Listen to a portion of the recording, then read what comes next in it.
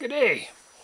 Today I'm here as a public service to warn people about the shoddy workmanship that you can expect from canvaschamp.ca, probably all the canvas champs in all the countries where they operate.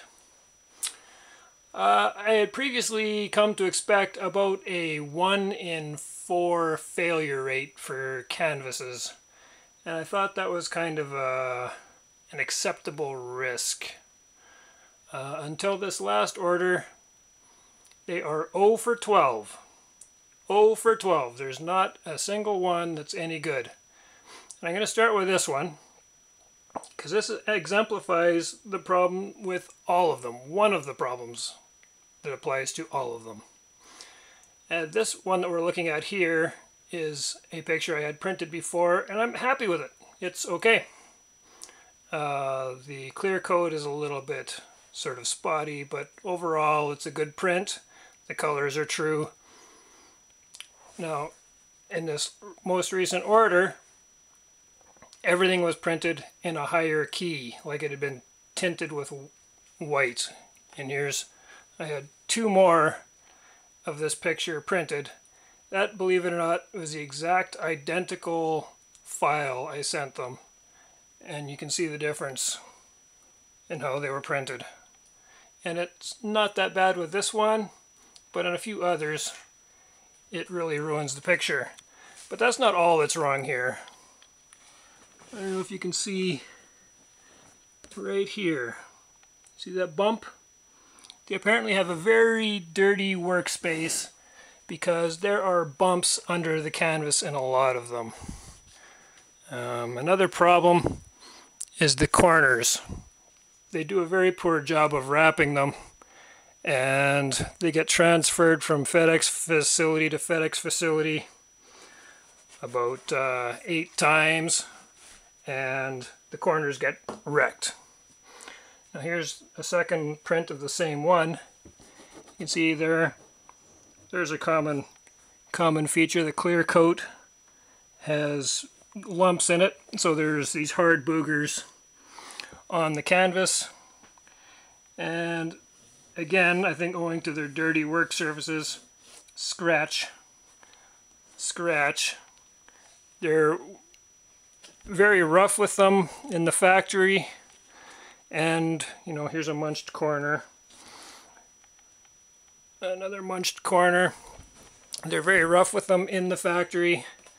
And owing to the dirty work surface, they get pieces of foreign matter under the canvas and or scratching the canvas. Now here's one. It should have been darker. It's overall, this is one of the better ones. This is as close to a, a good one as they've come. You probably can't tell for sure from the video, but it's not square. It's totally out of square. There's an acute angle here. This distance is longer than this distance. But again, I had a friend that wanted this one that I printed it for, and there's a munched corner. You know, the, the pigment is rubbed off of the corner. And it's just not acceptable.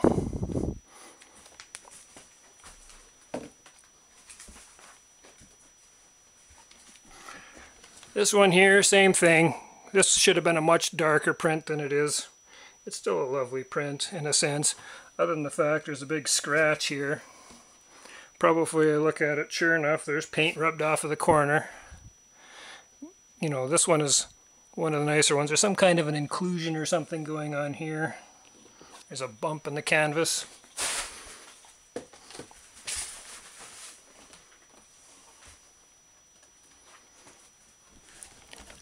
Another one.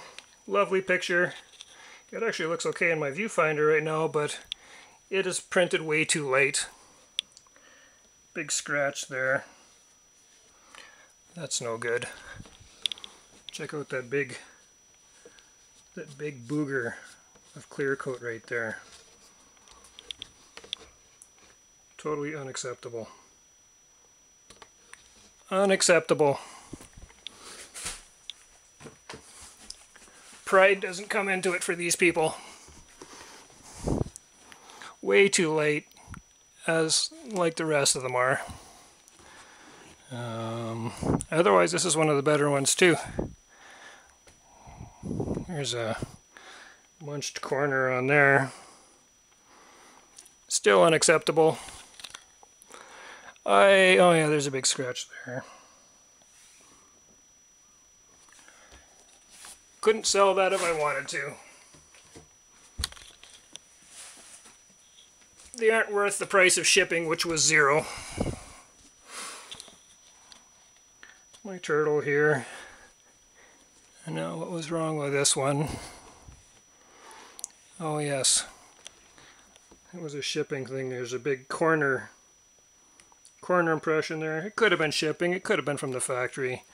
Some corner munching. And I know these scratches happened at the factory. Some of the damage was shipping, but I know the scratches happened at the factory because there's uh, they were individually wrapped and the scratches are under the wrapping. Now my nice, nice dark, rich blacks, again, turned into this faded blue, which is awful. Big scratch, that's no good. Paint pigment rubbed off the corner here.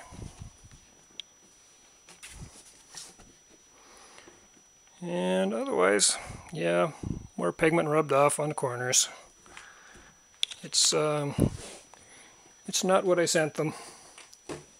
It's not what I expect when I give them my money.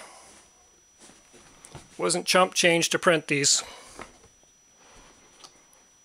Again, this one actually it kind of took on a weird greenish tint also aside from you know big scratch here.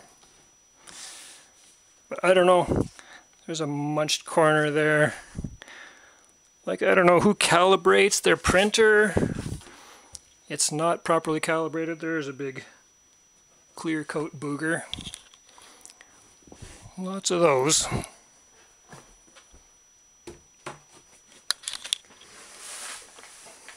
What are we so far? Oh for 9 it looks like so far. This was one of the, they're almost successes, except in the nice light blue sky here, there's these black inclusions. You can feel them. It's almost like somebody was grinding metal nearby and got uh, sparks on the canvas. There's some pigment falling off. There's another clear coat booger.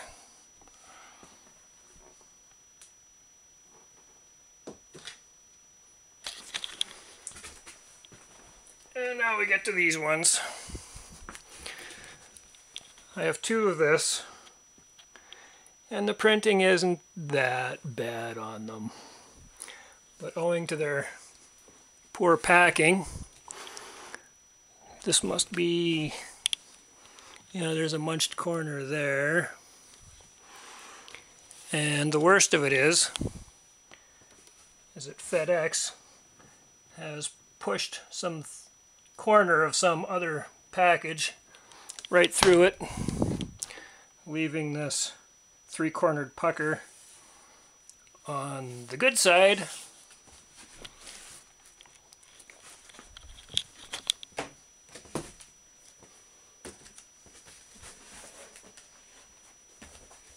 And this one, having been packed back to back, has the same problem.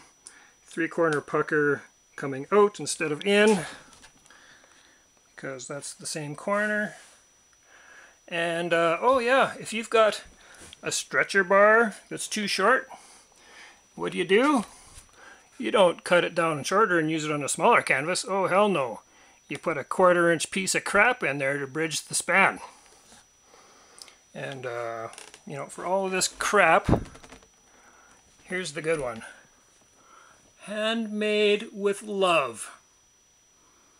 I don't know if that's intentionally sarcastic, but love has nothing to do with this crap. So remember folks, if you're thinking Canvas Champ, think somewhere else.